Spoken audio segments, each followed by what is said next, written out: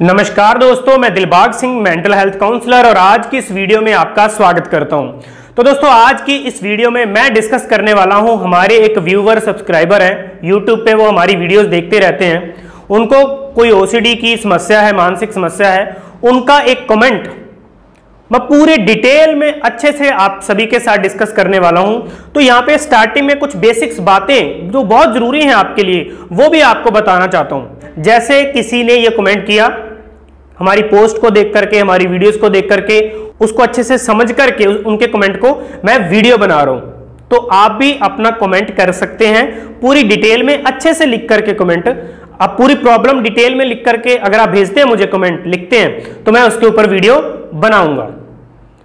बात नंबर दो, उन्होंने जो कमेंट लिया, लिखा है, उसको मैंने इस बोर्ड पर लिख लिया। और अब मैं पॉइंट टू पॉइंट जो मैं आपको कहना चाहता हूँ, जो बताना चाहता हूँ, वो आपके साथ में शेयर करूँगा।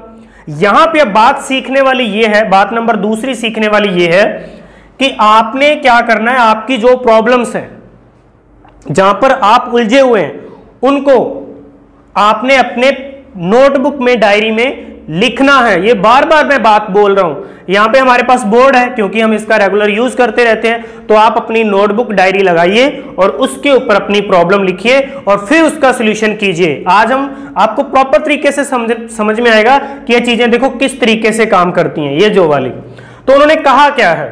उन्होंने कहा है, कैसे जीते सर जी? तो सबसे पहले तो मैं इसका नंबर पॉइंट एक, इस बात का जवाब देना चाहूँगा। पहले हम उस, उनके कमेंट को पूरे को पढ़ लेते हैं। फिर आंसर करेंगे, फिर उसको समझेंगे। कैसे जीते सर जी? ऐसा क्यों कहा? ये मैं आपको बताऊँगा। ये ओसीडी जीतने नहीं देती। जीवन छोटा सा हो गया है। सब कुछ खत्म हो गया है। सभी प्रयास करके थक गया है। मैं थक गया हूँ। ऐसा उन्होंने कहा है कमेंट बॉक्स में। कमेंट भेजा हमें। तो ये उन्होंने कहाँ पर कमेंट किया? उन्होंने एक पोस्ट पे कमेंट किया है, जहाँ पर ये लिखा उस पोस्ट में ये था कि ज़िंदगी में समस्या तो हर रोज नई है, कि हर रोज नई समस्या आती है, लेकिन जीत जाते हैं वह लोग जिनकी सोच बड़ी है। तो यहाँ पर सबसे पहले तो आपको इस बात का मैं जवाब देना चाहता हूँ कि उस कमेंट में ये लिखा कि जीत जाते हैं वह लोग जिनकी सोच बड़ी है। तो इस बात का आंसर क्या है? आपने कहा, कैसे जीते सर जी? आपको जीतना है जिनकी सोच बड़ी है। मतलब हमें सोच बड़ी करनी है। सोच बड़ी करनी है। अब सोच कैसे बड़ी करनी है? मतलब फिर हमें सीखना पड़ेगा। सोच तभी बड़ी होगी, हमें सीखना पड़ेगा। चीज़ों को समझने की कोशिश करनी पड़ेगी। हमें एक लर्नर बनना पड़ेगा। हमें चीज़ों को समझना पड़ेगा। एक्सपीरियंस करना पड़ेगा पड़ेगा। एक्सपेरिमेंट करना पड़ेगा। जब आप इस तरीके से काम करेंगे तो आप, आपकी सोच बड़ी होगी, आप जीत जाएँगे। नंबर बात दो।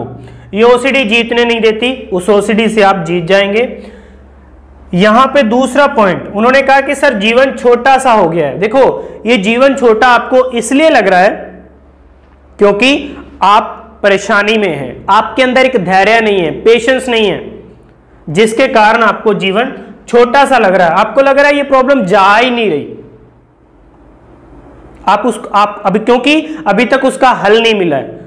तो हल तक आपको पहुँचना है। तो देखो, जीवन छोटा सा है। जीवन छोटा तो उनके लिए भी पड़ जाता है। जो हम सीखना या ज़िंदगी में कुछ करना करने जाते हैं तो जीवन छोटा पड़ जाता है। तो यहाँ पर तो आप नेगेटिव हैं। आपके लिए तो जीवन छोटा पड़ेगा ही। लेकिन जीत जाते हैं इस जीवन को वो लोग जिनकी सोच बड़ी होती है। कुछ लोग इस जीवन को पूरे आनंद से, खुशी से जी जाते हैं बहुत कम समय में। तीसरा पॉइंट इस तरीके से आप अपनी प्रॉब्लम को सॉल्व करेंगे स्टेप बाय स्टेप तीसरा पॉइंट इस यहाँ पे क्या निकल के आता है? उन्होंने कहा, सब कुछ खत्म हो गया है। तो इस बात को आप देखो भाई, कैसे सब कुछ खत्म हो गया? एक प्रॉब्लम ही तो आई है लाइफ में। उस प्रॉब्लम की वजह से सब कुछ खत्म कैसे हो गया? सब कुछ खत्म नहीं हुआ है। कुछ प्रॉब्लम है, उसका हमें सोल्यूशन करना है, उसको ठीक करना है। बस इतनी सी बात है। सब कुछ खत्म कैसे हो गया? इस पे आप अपने आप को सवाल करो कि सब कुछ खत्म कैसे हो गया? आप अभी हो, आप ज़िंदा हो तो आप अपनी प्रॉब्लम को सॉल्व कर सकते हो और ज़िंदगी में आगे बढ़ सकते हो। सिंपल तो यहाँ पर ये जो आप सोच रहे हैं कि सब कुछ खत्म हो गया, इस, ये गलत है। कुछ भी खत्म नहीं हुआ। आपका एक नज़रिया बन चुका है प्रॉब्लम की वजह से। चौथा पॉइंट यहाँ पे निकल के आता है सभी प्रयास करके थक गया हूँ। तो इसका मैं आपको आंसर एक ही करना चाहूँगा कि अभी तक अभी तक सही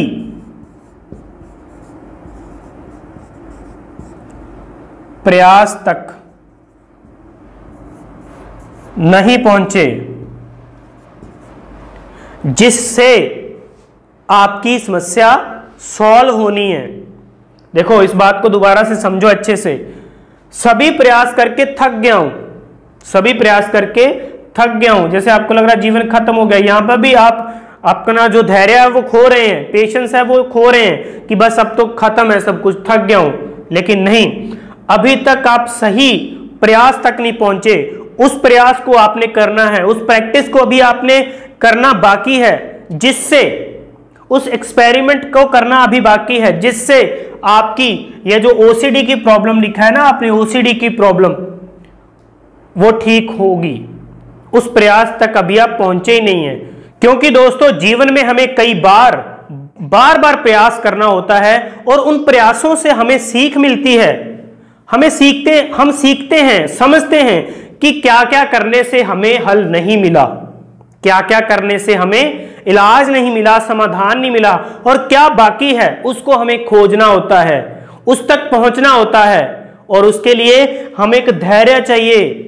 हमारे अंदर पेशेंस को हमें डेवलप करना है। इलाज खोजने से पहले हमें अपने पेशेंस के ऊपर भी काम करना है। मैं इसके ऊपर भी आप लोगों को वीडियो दूँगा कि आप पेशेंस को कैसे डेवलप कर सकते हैं, और अपने उस धैर्य को विकसित करके, उसके ऊपर काम करके आप अपनी प्रॉब्लम्स को अपनी लाइफ में आने वाली हर प्रॉब्लम को आप खत्म कर सकते हैं। जितना टाइम उसमें लगना है, जितना एक्सपेरिमेंट होना है, जितने प्रयास लगने हैं, वो प्रयासों को करने के लिए आप सक्षम हो। वो समय देने के लिए आप समय सक्षम हो। आप टिक पाए, आप ठहर पाए, आप स्थिर हो पाए उस एक जगह पे जो आपको ठीक करेगी, जो आपकी जीवन से समस्या को ठीक करेगी। तो दोस्तों, मैं आपको सीधा और सिंपल शब्दों में कहना चाहता हूँ कि अगर आप भी किसी भी तरीके से समस्या में हैं OCD depression anxiety fear phobia में तो आप हमारे साथ संपर्क कर सकते हैं ऑनलाइन काउंसलिंग कर सकते हैं वन टू वन मेरे से बात कर सकते हैं और अपनी समस्या का आप इलाज कर सकते हैं। तो हमारे साथ तक कैसे आप जुड़ सकते हैं, उसके लिए स्क्रीन पर दिए गए नंबरों के ऊपर आप कॉल करें, बात करें और अपनी समस्या का आप इलाज करें। आज का वीडियो आपको कैसा लगा, कमेंट बॉक्स में ज़रूर भेजें। आप अपनी पूरी डिटेल में कमेंट लिखेंगे तो उसके ऊपर मैं आपको एक वीडियो भी बना करके दूँगा। धन्यवाद। Thank you. शुक्रिया।